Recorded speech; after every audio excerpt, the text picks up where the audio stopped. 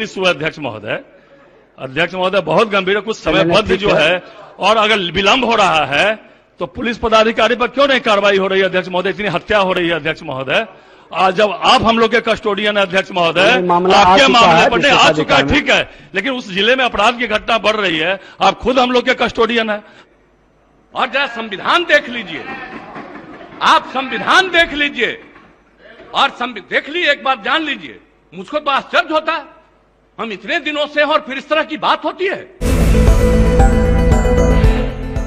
अध्यक्ष महोदय अध्यक्ष महोदय बहुत गंभीर है कुछ समय मैंने बद्ध जो है। है और अगर विलंब हो रहा है तो पुलिस पदाधिकारी पर क्यों नहीं कार्रवाई हो रही है अध्यक्ष महोदय? इतनी हत्या हो रही है अध्यक्ष महोदय। आज जब आप हम लोग के कस्टोडियन है अध्यक्ष महोदय आ आपके चुका मामले है पर नहीं आ चुका है ठीक है लेकिन उस ज़िले में अपराध की घटना बढ़ रही है। आप खुद हम लोग के कस्टोडियन है। आप जान रहे हैं कि निर्दोष को पकड़ लिया गया उस पर अभी तक कोई कार्रवाई नहीं हुई अध्यक्ष महोदय। इसलिए अध्यक्ष महोदय समयबद्ध सरकार को बताना चाहिए। चाहता हूँ कि जिन लोगों की गिरफ्तारी नहीं हुई क्या उन लोगों के यहाँ कुर्की जब्ती की कार्रवाई हो चुकी है सुनिश्चित? और अगर नहीं हुई है और अगर पुलिस वहाँ अपने को अक्षम सिद्ध हो रही है तो विधानसभा की समिति बना दीजिए वो जाके जाँच करे महोदय। माननीय मंत्री जी। महोदय कार्रवाई हो रही है निर्देश दिया गया है और नहीं, माननीय- आपसी मामले हैं इसलिए थोड़ा वक्त लग रहा है। नहीं माननीय मंत्री जी इस मामला को लेकर सदन में कई बार हंगामा हुआ है और दुर्भाग्य से इसको हम फिर से देखवा लेंगे। नहीं तो दुर् तो इसको स्थगित कर देते हैं। परसों इस पर पूरी डिटेल जानकारी लेकर के पूरी जानकारी लेकर के रिपोर्ट नहीं, ये इसलिए ज़रूरी है। माननीय मंत्री जी बैठ जाइए। इसमें स्थगित करने नहीं बैठ जाइए बैठ जाइए। अच्छा अच्छा बैठ बोलिए आप ही बोलिए पहले। स्थगित करने का कोई प्रश्न नहीं है। उत्तर दिया जा चुका है जो चीज़ है। अब ये कह रहे हैं कि आपसी विवाद में प्रेम प्रसंग में तो उसमें थोड़ा वक्त लग रहा है और कोई कठिनाई नहीं है। बोलिए। आपको तो पूरा देश से समूल नष्ट कर दिया गया कांग्रेस पार्टी को। आपका आप बैठ आप। बैठ जाइए। बैठ जाइए। माननीय जितेंद्र कुमार राय। परसों देंगे जवाब श्री जितेंद्र कुमार राय। ये राहुल कुमार अधिकृत हैं। पूरक पूछिए। का उत्तर सरकार के द्वारा आ चुका है। मेरा सिर्फ़ जानना था कि सरकार का उत्तर है कि जिलाधिकारी महोदय लोग को पेमेंट कराने का व्यवस्था कराई जाएगी सहारा ग्रुप से मीटिंग करा के। लेकिन कभी भी सहारा ग्रुप और जिलाधिकारी के बीच में मीटिंग नहीं होती है। तो इसलिए सरकार से हम चाहते हैं इसकी भी मॉनिटरिंग की व्यवस्था होनी चाहिए। माननीय मंत्री वित्त विभाग। विस्तार पूर्वक उत्तर अध्यक्ष महोदय इसमें दिया हुआ है। सदस्य की जो चिंता है, उसको हम दिखवा लेते हैं, लेकिन सरकार इसके बारे में, कि इसका परसों फिर दीजिए, ये बिल्कुल नियमों के प्रतिकूल है। मैं आपको कहना चाहता हूँ, मैं सुन रहा था, इसीलिए हम हाउस में आए हैं। इसीलिए हम हाउस में आए। ये काम है सरकार का जवाब देना। और मैंने ऑथराइज किया है अपनी तरफ़ से, इनको इस बात के लिए करना। हम बैठ करके सुन रहे हैं। ये तो बता रहे हैं कि पूरी इंक्वायरी हो रही है। और जब पूरी इंक्वायरी हो रही है तो हो गया ये हाउस का चीज़ है। आप जब इंक्वायरी हो रही है, और ये हुआ, इसके लिए कोर्ट है, और जब इंक्वायरी होती है कोई चीज़ के बारे में, और मामला जाता है कोर्ट में, आप हाउस में पूछ रहे हाउस में बताया जा रहा है। और जो इंक्वायरी होती है, ये काम करना पुलिस का काम है। आप इंटरफेयर नहीं कर सकते हैं। और जरा संविधान देख लीजिए।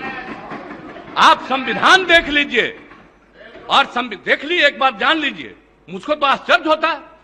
हम इतने दिनों से और फिर इस तरह की बात होती है।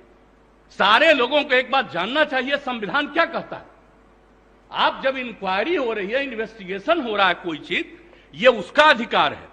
और अगर वो गड़बड़ करेगा, सरकार की तरफ़ से डिपार्टमेंट की तरफ़ से गाइडलाइन यही है कि निश्चित रूप से करना। और आप जानते हैं, हर बार हम एक एक बात कहते हैं। न हम किसी को फंसाते हैं न हम किसी को बचाते हैं। ये काम नहीं है सरकार का।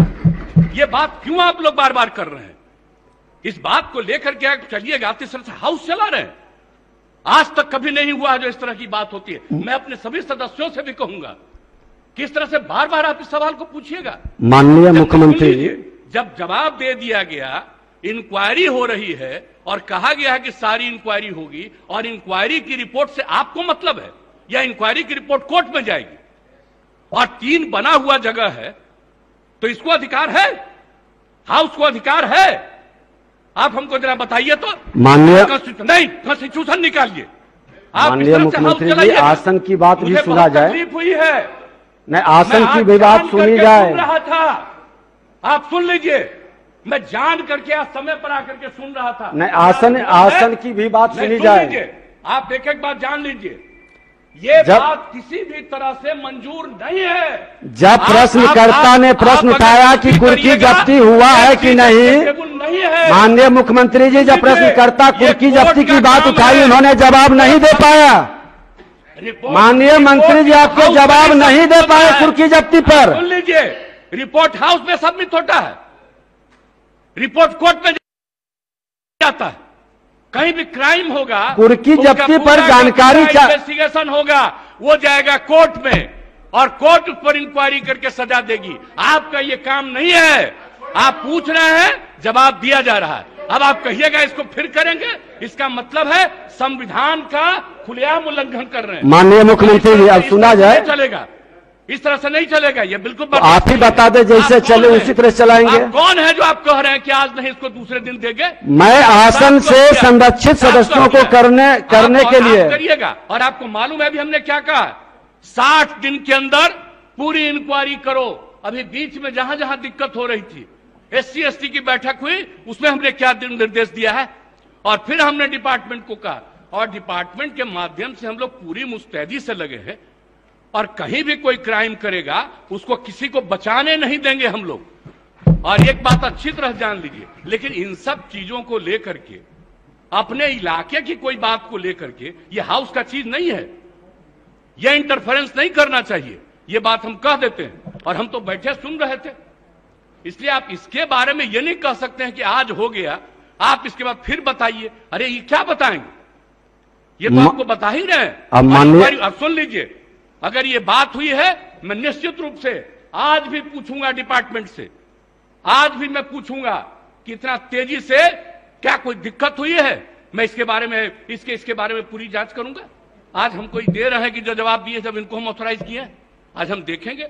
लेकिन कृपा करके इन सब चीज़ों के बारे में ज़्यादा नहीं करिए। ये सब करना अच्छी बात नहीं है।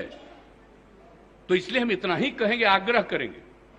कि जो चीज़ जिसका अधिकार है और जो चीज़ जो करना है, हाउस में कुछ भी पूछ सकते हैं। हाउस में जवाब दिया जाता है। लेकिन किसी भी चीज़ के मामले में वो रिपोर्ट कोर्ट का नहीं है। ये, सॉरी, कोर्ट नहीं है अब इस हाउस का नहीं है। रिपोर्ट कोर्ट में जाता है। इसलिए इस बात को अच्छी तरह याद रखिए कि जो चीज़ बना हुआ, इसमें कोई शक नहीं। लेकिन इस चीज़ को अकारण इसको आगे बढ़ाने की ज़रूरत नहीं है। जब एक बार आपने उसको दे दिया तो उसके बाद फिर अब इसको रोज रोज उसकी चर्चा करने की आवश्यकता नहीं है। इतना हम ज़रूर आग्रह करेंगे आपसे। चलिए, श्री सालनी, श्रीमती सालनी मिश्रा माननीय।